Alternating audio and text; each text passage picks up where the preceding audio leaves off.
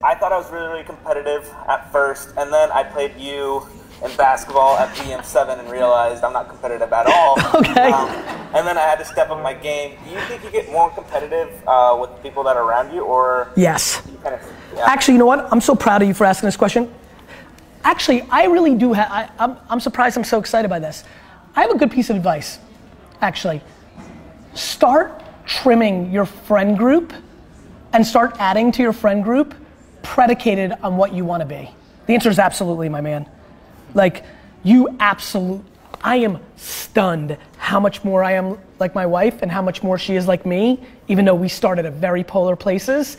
It's just true. Who you hang out with, like, there is such a smart hack to like, and it's really the, like that cliche thing, like you are like the byproduct of the people, like all that, that's real super real. So maybe this is a good year for you to like kind of audit that first day back, look around, maybe know a friend of a friend, and if you like what you see, go explore it and try to be around it. Because yeah, man, I think that you got more competitive by being around me, and I can tell you right now, I know everybody on my team, they're different. I'll tell you one thing that I can tell you firm about D-Rock and Nate, for sure. I'll give you those two examples. They're a fuckload more confident they were than they were when they came into my life because my confidence rubbed off on them.